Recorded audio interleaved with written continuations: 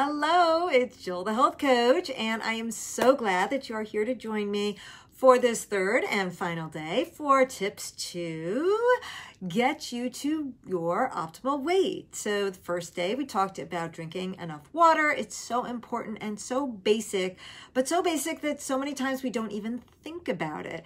And uh, and in in and in fact, often we'll go days without even having any water. So it's super important. We talk about how much to drink. And then we talked yesterday about certain inflammatory foods that if you take out of your diet, sometimes magically the weight just kind of goes back to balance on its own just by taking out one thing. So I invite you to check out, that was yesterday's, and see if that might work for you as well. But there are such common, these common four inflammatory foods really make a huge difference if you do take them out. And then today, day three, we are talking about basically what's up here and how it really gets in the way of our progress in getting to our goals and any goals, health goals, or you know, even career goals or family goals or whatever. But really, when you have to get your mind into the game. And that's what holds so many of us back is we have these negative thoughts. And if we shift those thoughts and we just think of them in a different way, it's amazing how much better we can do. This is how we propel ourselves. And, and I tell you, uh, you know, I've been taking some courses in all of them, all of them these days are now focusing on mindset first. And there's a reason for it because it works, because we are in our own way, right? And I think we all know this about ourselves but it's when you kind of really think about it and conceptualize it. And we're going to talk about what you may be doing that's keeping you out of the game.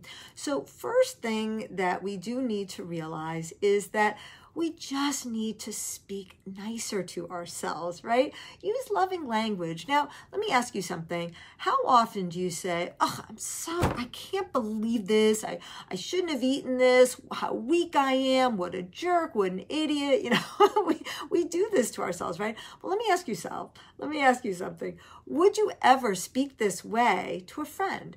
If they were upset and they called you up and they said, Oh, you know, I, I just, I had such a bad day. I had this whole bag of chips. I'm so mad at myself. Would you respond to them and say, you are such a jerk. How can you not have any control and just do this?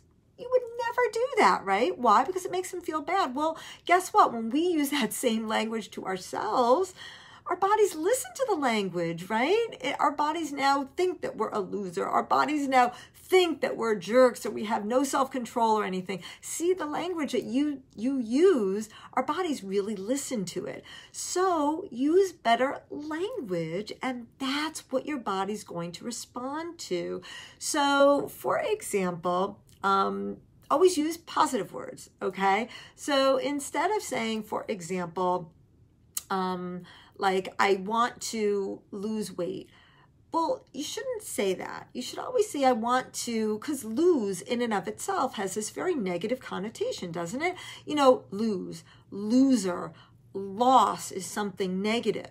So let's make a shift and not say lose weight. We want to get to our reach, get to our up optimal weight, right? The weight that where we want to be. So why don't we start using that language? So let's talk about getting to our optimal weight. And we're not going to talk anymore about losing weight because guess what? When you say, I need to lose weight, I need to lose weight, I need to lose weight, your body will still focus on lose, which is such a negative word. We don't want to concentrate on that, right? So let's talk about that. Let's talk about, you know, reaching our optimal weight.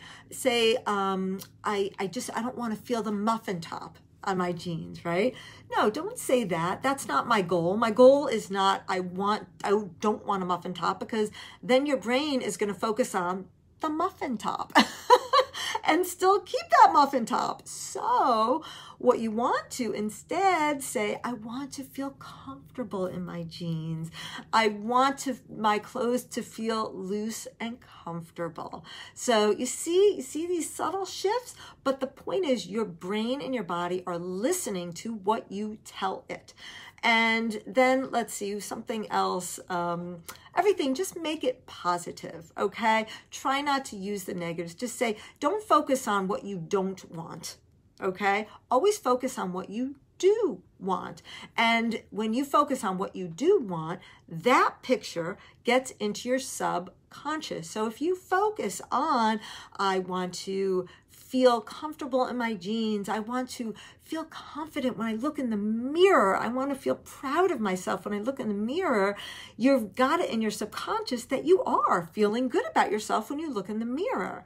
But if you say, I, I don't want to feel like like I don't want to look in the mirror. No, don't say that. You know, again, it's all about using positive words and putting that picture, the picture of what you want to focus on and what your goal is, put that picture in your brain. And the more you do it, the more it'll come true. You know, this happens with athletes all the time. Think about um, how many basketball players they'll what they do is they use uh, like they and they visualize it's called visualization. So what they do is they visualize themselves making that basket. A lot of times you'll see them at the free throw line whatever and they're they're they close their eyes for a minute they bounce the ball and then they open and then they shoot. And so often what they're doing is they're using visualization. They're visualizing that basketball getting into the basket. So that's what you need to do for yourself. And that way you, it, you know, your success is much more likely to happen because you've got it in the brain and you're not doing it through suffering and beating yourself up.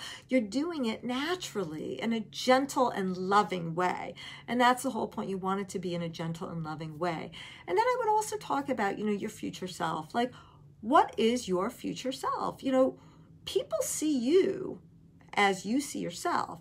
So if you see yourself as I need to lose weight or I have a muffin top, you know, you think that, that's how people will see you. So change the story, change the story and make sure that you always have your future self, that picture of your future self, looking confident and feeling great and clothes are loose and, you know, around you and, and you're just feeling really good about yourself. So envision your future self, whatever you want to be. So do that. That's just a simple thing that um, can really, really help you. So again, focus on positive words like optimal weight instead of losing weight, uh, loose clothes instead of tight binding clothes, and instead of a muffin top, you know, feeling loose and free.